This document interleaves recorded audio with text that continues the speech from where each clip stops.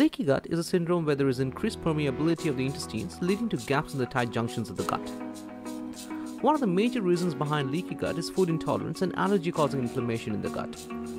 And in this video, we will cover foods which you want you to avoid with a leaky gut. If this is of interest to you, we recommend you to stick around till the end of the video. Foods to avoid with a leaky gut coming up. This video is brought to you by Good Health Corner. At Good Health Corner, we bring research health information in a simplified manner that is easy to understand. If you like what you see here, we request you to support us by clicking the like, subscribe, and the bell icon. This will ensure you get notified every time we release a new video.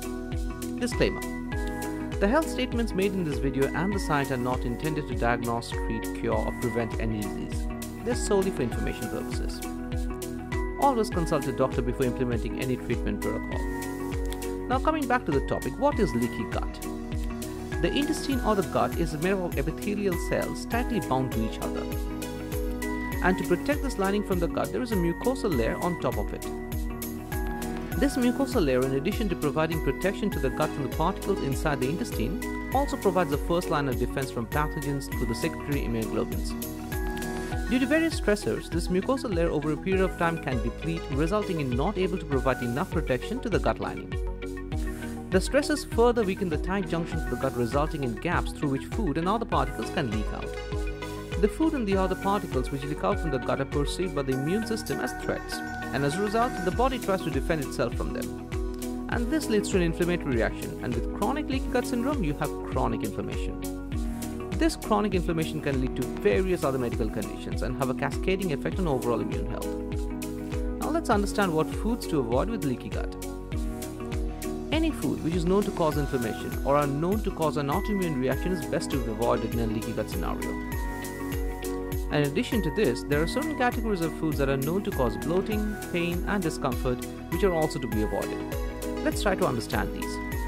Number 1 Gluten. The first category of foods to avoid in a leaky gut condition is gluten. Gluten is a protein found in wheat, barley, rye, etc., and it's known to cause inflammation. Alpha gliadin is a signature protein of gluten, which is linked to celiac and other intestinal disorders. The human gut cannot break down gluten completely, and it leaves the possibility of inflammatory reaction in the gut, including autoimmune conditions. Number 2. Milk. Mother's milk is great for infants, but as we grow up, milk might not be as beneficial as what we think. Firstly, casein is a protein that is found in milk and casein found in cows or goat's milk is bigger in size than human milk and is not easily digested by the human body. Secondly, lactose is a kind of sugar found in milk, which is also a stressor of the human system. Most people are intolerant to this, as the human body is generally deficient in the enzyme called lactase, required for breaking down lactose. Third, the milk found in the supermarkets are pasteurized. Now, pasteurization is a process that is used to kill the harmful bacteria from milk and increasing its shelf life. But the process of pasteurization includes heating the milk and then cooling it very quickly, and this process destroys any good properties, including the enzymes in the milk, increases oxidized fat, and alters the quality of the proteins in the milk. Thus, milk might not be the best for you and has the potential to cause inflammation and add fuel to the fire in a leaky gut scenario. Number 3. Sugar. Sugar is a highly inflammatory food. The sugar in the blood is utilized by the cells to produce energy. The pancreas secretes a hormone called insulin, which is responsible to escort the blood sugar to the cells to be utilized to create energy. With additional sugar intake, our pancreas need to create excess insulin to escort the sugar to the cells. Now, with prolonged ingestion of sugar, the cells become resistant to insulin, and as a result, the glucose remains in the blood, causing insulin resistant diabetes. Leaky gut syndromes can also have dysbiotic gut and yeast infection. Some microbes live as a part of the commensal flora, but in a case of compromised immunity can become opportunistic and may cause deep-rooted infections. Candida albicans is such a yeast strain and they feed on sugar. In addition to Candida, sugar can also feed the other opportunistic and harmful microbes and helping them to create an imbalance of gut flora resulting in inflammation and disease. Number 4. Soy. Soy has earned a bad name in recent times as most of the soy produced is genetically modified or GMO. Soy is also on the list of the foods which are best to avoid in case of leaky gut syndrome. First, the protein in soy is similar in structure to gluten and can create a similar inflammatory reaction just like gluten. Most food factories packing soy products also handle gluten, so there is a high likelihood of contamination of soy products by gluten. Secondly, most of the soy products are GMO in nature. With the advancement of biotechnology, scientists are now able to introduce a gene in soy products which makes it easier to grow these crops. These crops are not natural and have the potential to alter the gut microbiome and are thus not recommended in a leaky gut scenario. Lastly, soy products are high in oxalates. Oxalate rich foods can cause kidney stone and extreme gut pain for individuals with leaky gut. These are best to be avoided. Number 5. Alcohol. Alcohol is one of the prime contributors to the leaky gut syndrome. It is seen that alcohol can cause increased permeability of the gut, leading to a leaky gut. Alcohol suppresses the production of prostaglandins. These are a group of lipids that are responsible for reducing inflammation and helping to repair tissue damage.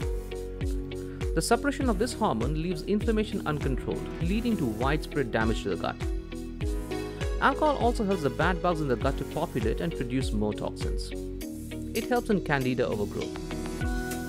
Alcohol metabolite acetaldehyde is classified as a group 1 cancer causing agent. Consumption of alcohol is a risk factor for bowel cancer and many other health conditions. Imbalanced gut flora with overgrowth of pathogenic microbes causing loosening of the tight junctions. In this way, alcohol provides all the necessary support to create a very hostile gut environment. High oxalate foods. Oxalates are natural compounds found in plants and vegetables. These are considered as the defense mechanism of these plants from herbivores.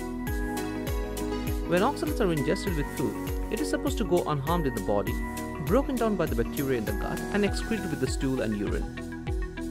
In case of a leaky gut syndrome, the oxalate degrading bacteria called Oxalobacter formigenes might not be present in sufficient concentration, leaving these oxalates to be absorbed in the gut tissues. Oxalates are linked to kidney stones and other health conditions such as tissue destruction, fibromyalgia, neurological issues, and other autoimmune conditions. It is best to avoid foods that are high in oxalates. High FODMAP foods. FODMAP foods represent a category of foods that are high in fermentable carbohydrates. These fermentable carbohydrates are known to cause bloating, gas, and stomach pain. This becomes specifically difficult for individuals who are already having a compromised gut condition like irritable bowel syndrome or leaky gut. These foods, when passing through the colon, ferment and create gas. The fibers draw in water in the colon, and together with the gas, it can cause bloating, cramping, diarrhea, or constipation. Red meat. Red meats are difficult to digest and in a leaky gut condition can cause severe stress in the gut and cause inflammation. Red meat can raise the levels of trimethylamine N oxide or called TMAO, a metabolite that is produced during the digestion of red meat. Higher production of TMAO is associated with inflammatory conditions related to the heart, gut, and other chronic conditions. Studies have shown that the gut microbiome of individuals on plant-based diet versus animal protein diets show a correlation of inflammatory markers present in the animal-based diets along with a reduction of the beneficial microbiome. Animals are injected with antibiotics, and antibiotic injected meat may not be good for the microbiome. Junk food. Junk foods are burgers, sausages, fries, aerated drinks, donuts, etc. These foods are empty calories and they do not contain any beneficial properties for the body. On the contrary, they contain harmful substances that are linked to many diseases. Junk foods are generally laden with gluten and sugar. Both of these are extremely harmful to the gut and the body. In addition, they also contain a high amount of saturated fat and trans fat, which are associated with cardiovascular diseases and implicated in other inflammatory conditions, including the gut. The absence of any beneficial fiber in these junk foods make them stick to the intestine and cause constipation and bloating. Constipation leads to fermentation of the foods in the intestine and can impact the gut microbiome in a negative way. If you're already having a compromised gut, it is best to replace junk foods with foods that are gut friendly and foods that can help you to reverse your current condition. Junk food will only make it worse. So, in conclusion, leaky gut can be worsened if you're not making the right choices in food. Gluten, casein, sugar, soy, alcohol, red meat, or foods that are high in FODMAP or high in oxalates can have a damaging impact on the gut health. Knowledge and information are key and helps us to take the right step towards recovery. With this information, we are able to avoid the foods which can lead to a leaky gut and help ourselves overcome the condition. Hope you have enjoyed this video. If you'd like to see more such videos, we recommend you to subscribe to our channel and give a thumbs up to this. A little bit of encouragement from you will go a long way for us.